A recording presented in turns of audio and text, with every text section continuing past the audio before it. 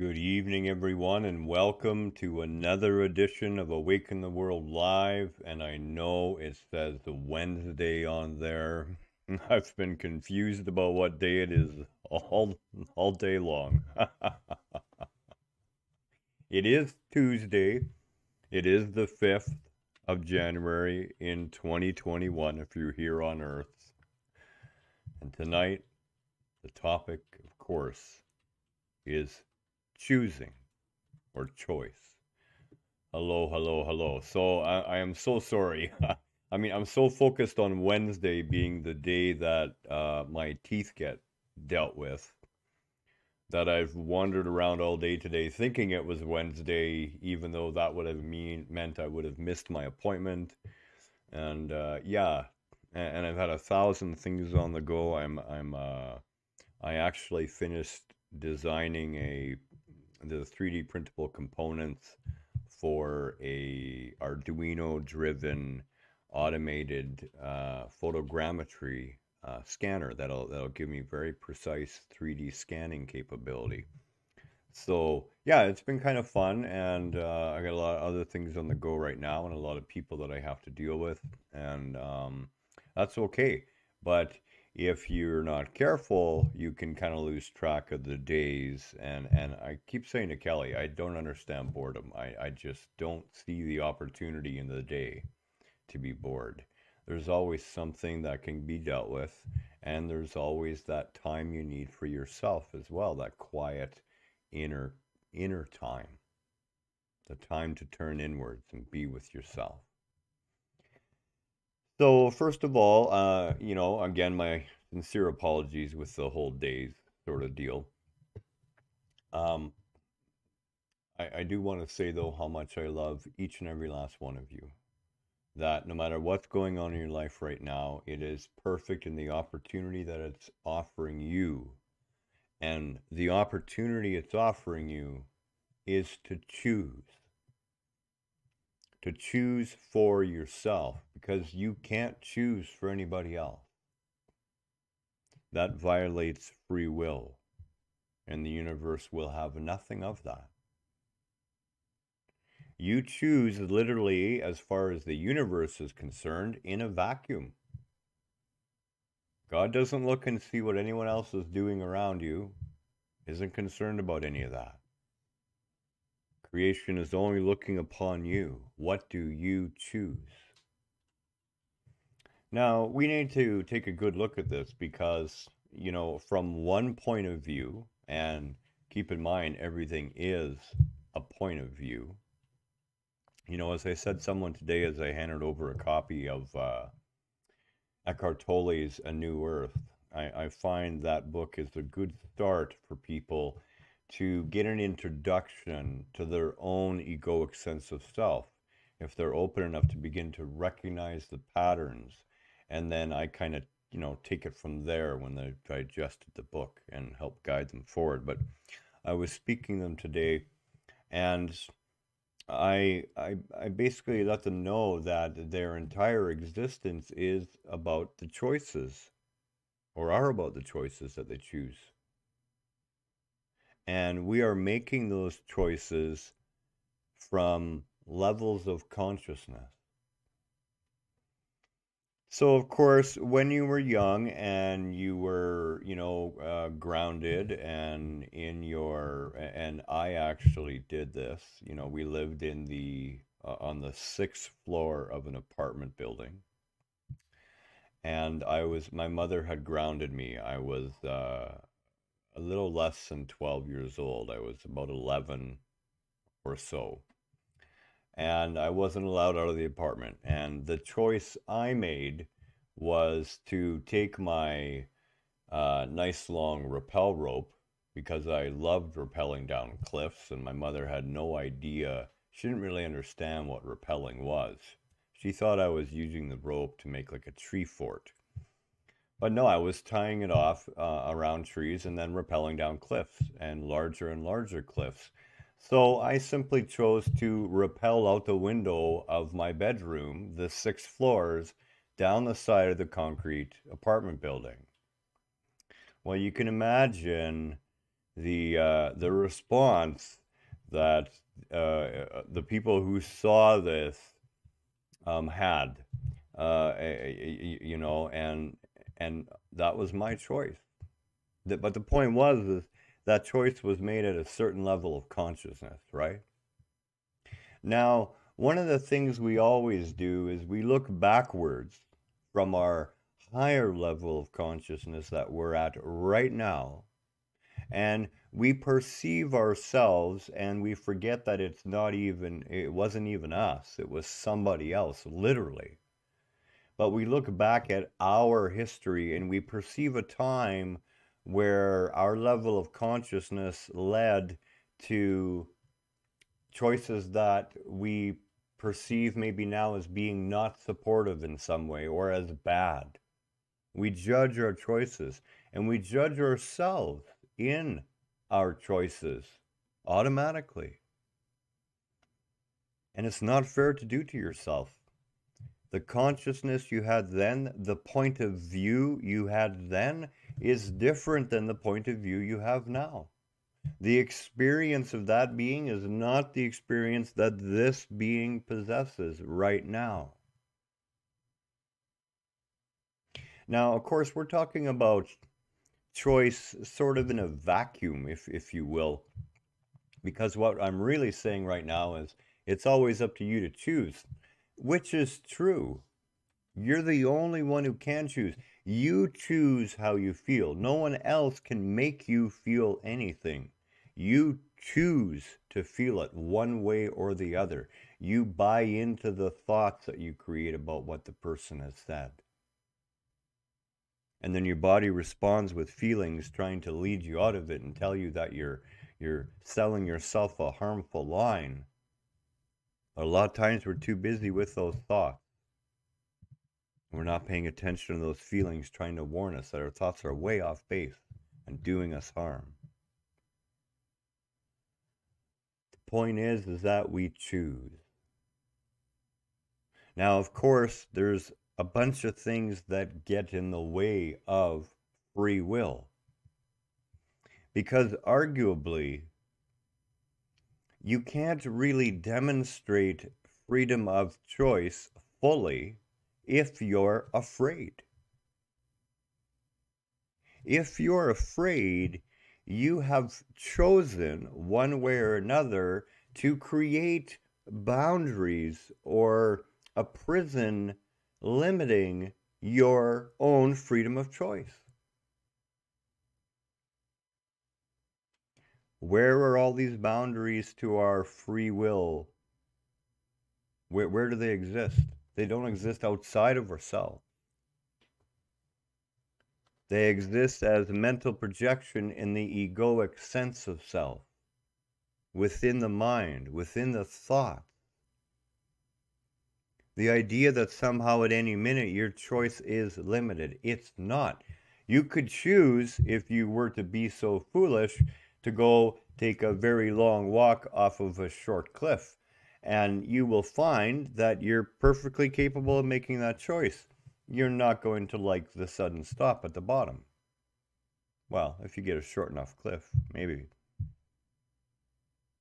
The point being, and, and we're going to talk about the byproduct of choice, which is called consequence or karma, if you will, but really it's all talking about the same thing. It's energy balancing out.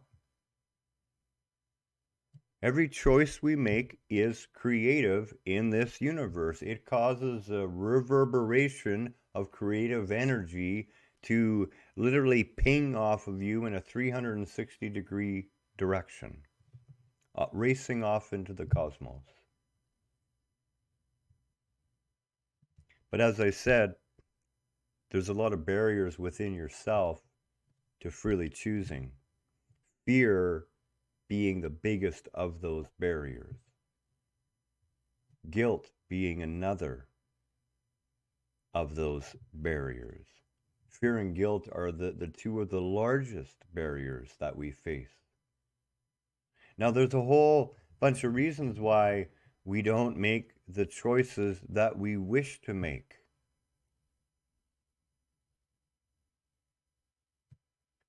Guilt is the idea that what you were in the past did something that should in some way limit you now or deny you something that you wish for, wish to participate in, wish to experience by making a choice.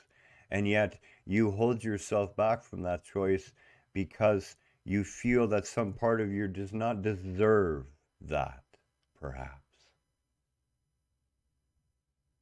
As I said, that wasn't you. And really, you need go no further than pay attention to your body's own reaction to your thoughts.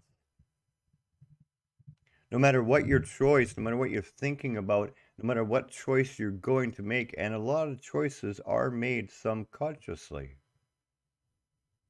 And they do because a lot of that guilt and fear lies deep within us and doesn't really stay in the conscious part of the mind all the time.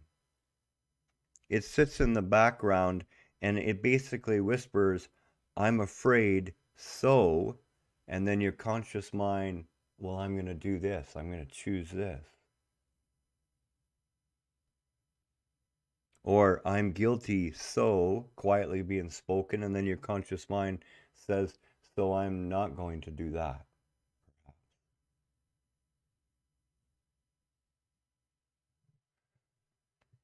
You must be willing to ask yourself at all times if I was born right now in this very moment and had this experience, and this was my first ever experience, what would my highest choice be right now?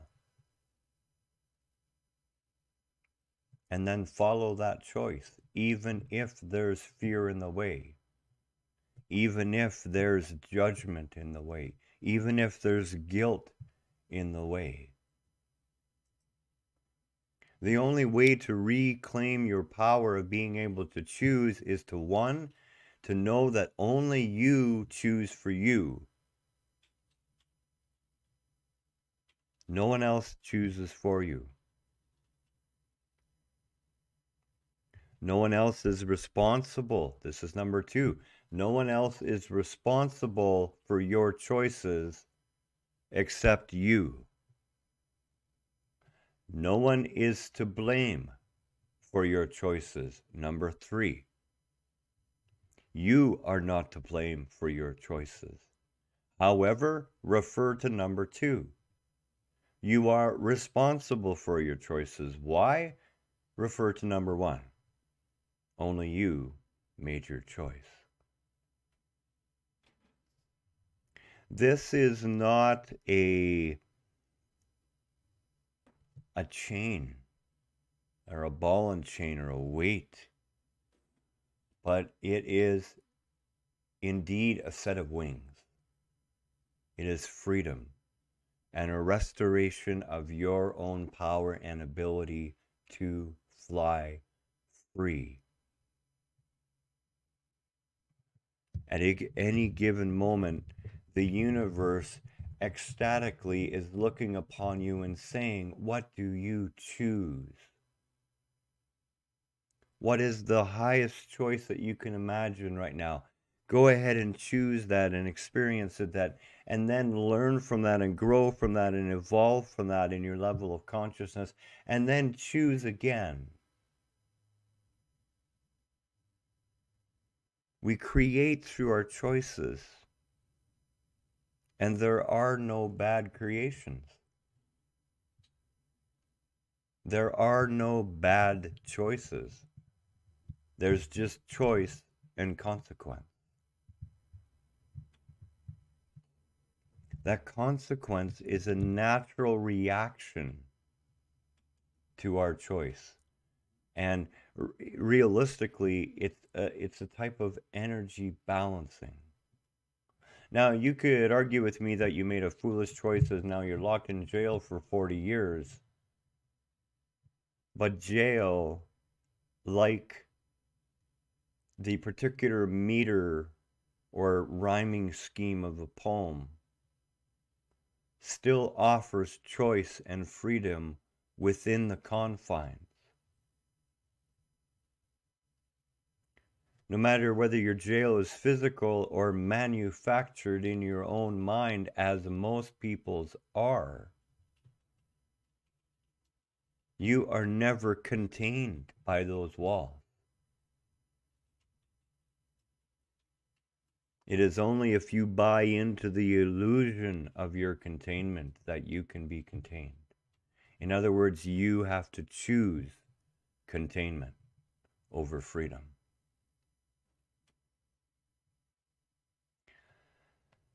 Karma or or or that reaction to our choices is simply a balancing of energy. Now, when it comes to other people in your life, to judge your choice against someone else's response to your choice, you have to be so very careful. If you do not perceive that that person possesses at least the same level of consciousness that you do, you have to be mindful that chances are they're going to react in some negative fashion to your choice.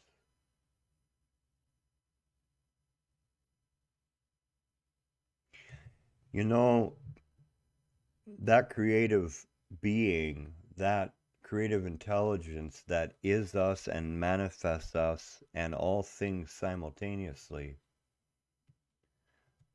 doesn't go halfway, didn't partially commit, but instead is fully evolved, fully active, fully aware, fully present. whatever it is that you choose, if it rings true with you, if it feels good to choose it for you, give yourself to that choice wholeheartedly. But not blindly. Watch for the reverberations of what is starting to return energetically from your choice. And if you feel the need to adjust your choice for yourself, not for another. No matter how much you try to make yourself likable or gain approval, you're only losing yourself and losing your free will. And the only way you truly lose free will is to give it away. Every single thing that's happening to you, everything that's happening to all of us all over the planet, is all inviting us to do the same thing, to make higher and higher choices, to observe what is happening, not to judge it, not to become angry, not to become upset with it, not to blame ourselves or blame others, not to wish to destroy it, but to simply understand that in our observation, this, what we're doing right here, right now, no longer serves us. And it looks like it never really did. And then choose a new path. Now, we all sit here and we all say, well, I can't change the world, and the world isn't asking you to change it. The universe is asking you to change yourself, to reach higher and higher levels of being, to watch as your choices become more and more refined, and as the love of who you are and the light that you are begins to shine brighter and brighter through the choices you make, others will naturally be drawn to your light like moth to a flame. That is how you affect real change in the world. Ask yourself in any given moment are my choices working towards the wholeness and oneness of all of us? the unification of us all, or all my or are my choices separating and taking away? You have the power. You are the same being that Christ was, that Buddha was. You have the same strength as Gandhi had, the same vision that Muhammad had. All of this is contained within you. Look for it, it's there. And make your choice to give your gift of love to the world, a world very much in need of it right now. Much love to you this evening. Hopefully, there will be some teeth happening in the next few days. And then I have to work, you know, get around how to talk with those, which will be a whole new experience yet again, I'm sure. And uh, as always, namaste. I see that divine spirit within you.